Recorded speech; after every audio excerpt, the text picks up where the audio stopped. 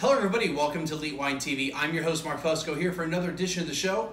so I hope you all liked uh, last week's show uh, with my friends Christian and Laurelyn. Um, I had a lot of fun hanging out with them. Um, last time you'll ever see me in a tank top, I guarantee you that. Not flattering on me. Um, but I had a great time with them and uh, um, hope you all had a great time. You know, having people that, you know, just our ordinary drinkers. You don't have like the snooty somm spitting wine and blah. And, you know, the wines are I like different, like the Underwood wines, barefoot wines. They're fun and interesting. Not interesting, but they're fun, like easy drinking wines. Uh, if uh, that's what you're looking for, they're perfect size. You know, basically a glass worth um, in plastic. So um, same thing with the Underwood. You, get a couple glasses of wine out of the deal, and uh, in, a, in a pool-friendly format. And uh, I think it's the first time we had beer on the show. So uh, yeah, uh, good time was had by all. At least we did. Um, as you can see, I don't have the green screen going on. There's the, uh, oops. There's, uh, there we go. There's the, uh, I guess so. Yeah, I guess it is directly behind me. There's the, the wine cellar. You can't really see inside because when I first got the wine cellar, um, it, the glass was facing this way. And then I realized if I ever did an episode like this, these lights would just reflect really badly. You would you'd be a mirror and you would see what I see. So um, we turned it so that it doesn't do that. Um, it actually gave me more room because it's it's it's not as it's um, deeper than it is wide. So it makes it easier to put the green screen up. But I'm trying to get a few episodes done real quick. I think I'm gonna do five today.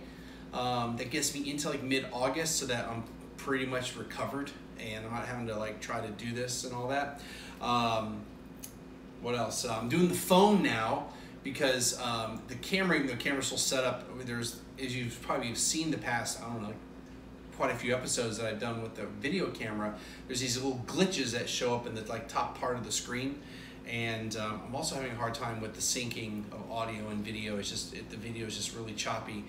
It's not because my computer is slow or anything, it's plenty fast, but Apple did something with the um, um, the file format for video that Canon uses and a lot of people use um, for video cameras. And uh, so I'm trying to do this with the phone, but I'm also experimenting with. Um, I've got the uh, the thing here, the audio recorder, and the um, uh, the file format for the audio because that's not syncing up either. But I thought I had all of it set. So the last episode, I had to do some magic so at the very end of everything we are lips synced with the audio. Um, trying to see what else to talk about from that episode. That, that that's going to be it.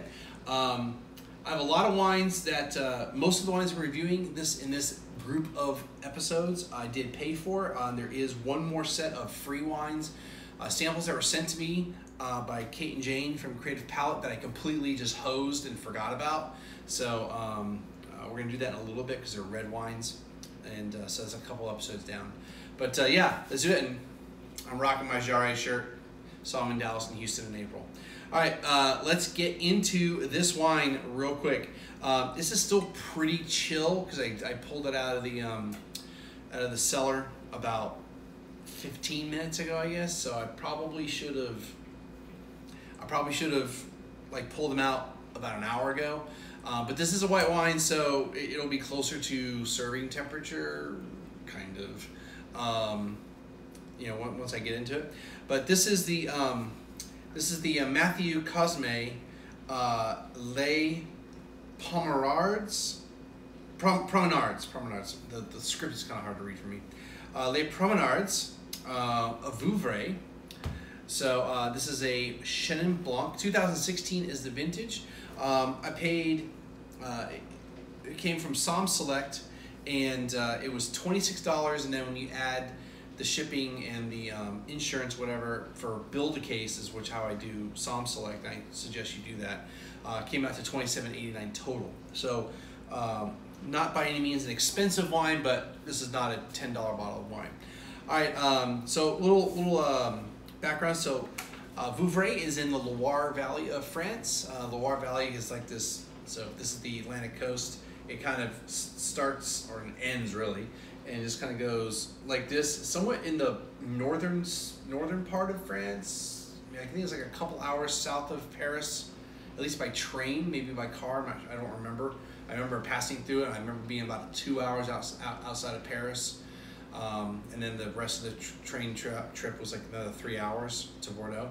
Anyway, so it kind of just goes like this, and then goes yep, south. Um, anyway, so the Loire Valley is somewhat kind of in that middle area, um, and they uh, well. Vouvray, I'm sorry, Vouvray, Loire is the whole part.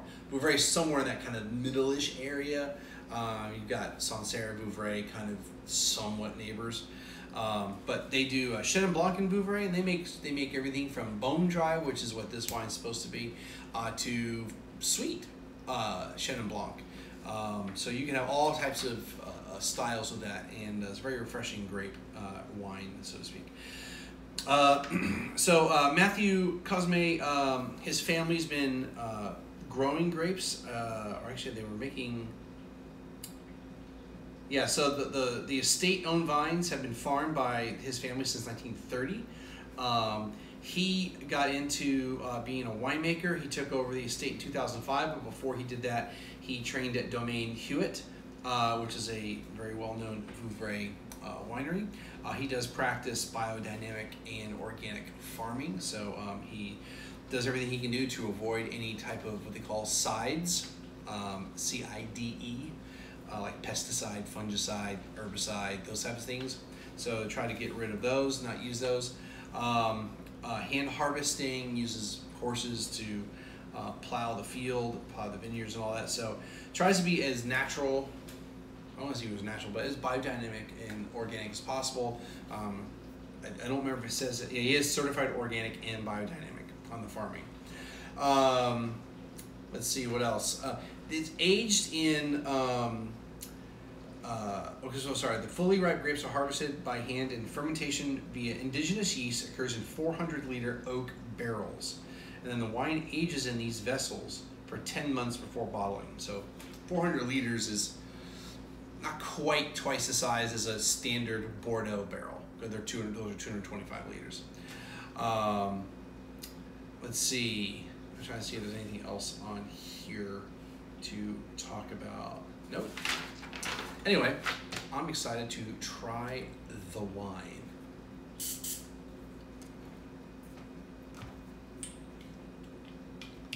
Boom.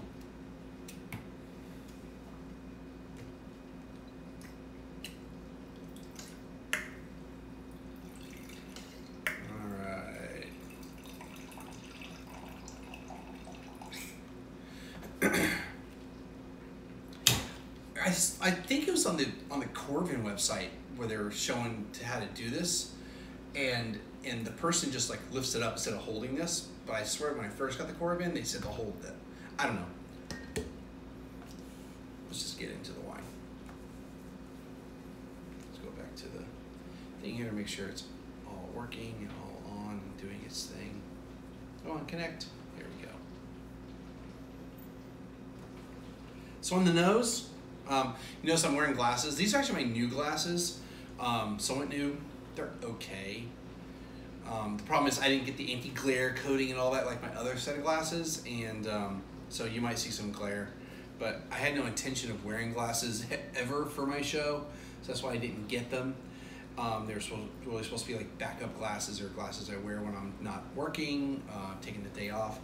But uh, I, I definitely I think pushed the contacts that I wear um, a little too hard. Not hard, but I probably wore them for slightly longer. I don't wear them like I don't keep them in like all the time.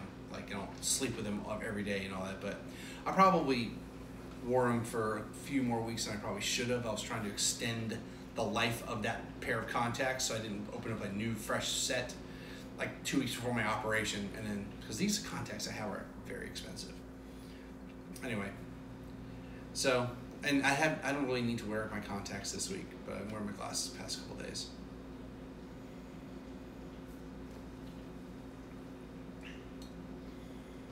So on the nose, I mean I know I wore my contacts for the show, for for the episode because I was trying to not use my glasses, but So on the nose, there's, a touch of waxiness to it, um, a touch of yellow apple, uh, peach, um, even I won't even say there's even a little bit of rubber on it. Yeah. Um, even though it's aged in oak, um, these are very likely, you know, used. They're not like new oak type of thing, so it's not like, um, yeah, they're large neutral barrels, it says. so it's really more for the oxidation of it than, than anything else. A, little bit of white flowers, um, but on the nose, it's not it's not highly aromatic, so there's really not a lot going on in the nose. Let's just get right into the into the wine.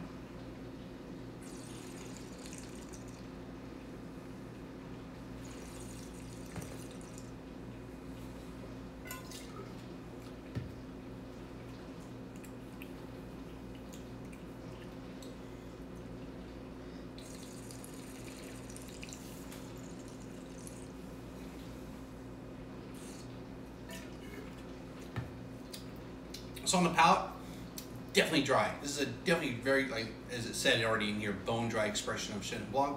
Um, it's just refreshing. It's very acidic. Um, acidity is very high. It's not as laser sharp down the center tongue, but it does coat the tongue. Um, you get a little tartness of the fruit. Um, that could also be just the acid really just ripping, rippingly high. Um, but it's um, the peach is there it's like like a really tart or very acidic peach. Um, there's a, because it's such a highly acid thing. There's a natural inclination to say there's like a lemon and lime, but more more lemon citrus type of thing going on. Um, I don't really get that rubber or waxiness on, on the palate.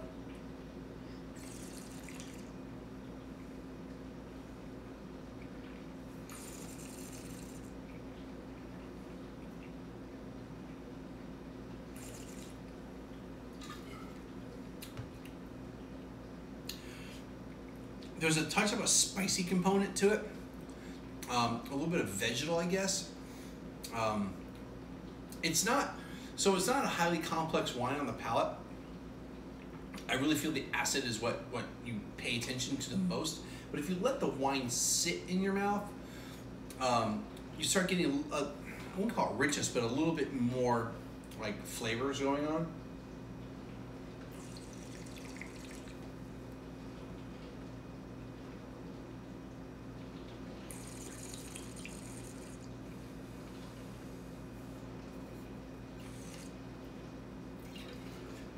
Touch of orange, that type of stuff.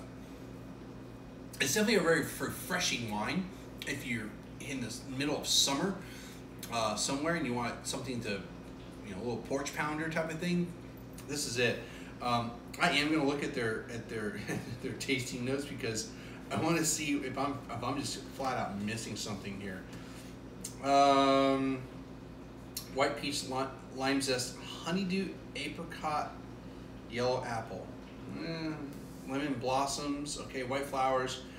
Crushed rock and wet wool. I, you know, wet wool is like this big marker for Chenin Blanc, and for some reason I don't get it all the time. So I'm not sure if there's just something I'm missing out of that. Um, yeah, I mean, I get I get about half of what they say. I'm not saying that that's not in there and that they're making it up, um, but sometimes certain things on wine mask or, or you, your your body, your palate pays attention to certain things. You key in on it, so you might miss other things. It's a very refreshing wine. Uh, I like it a lot. Uh, I'm looking forward to drinking it later, um, as in in a couple months when it's unfortunately won't be a hot. Won't be a won't be like a great time to drink it, but um, really just kind of depends on my medication. You know, at this point, well, while you're watching this, I'm recovering, so I don't know what kind of medication I'm doing and how, what, how much I can drink, if, if anything. So that's why I'm recording all these now, so I don't have to worry about that.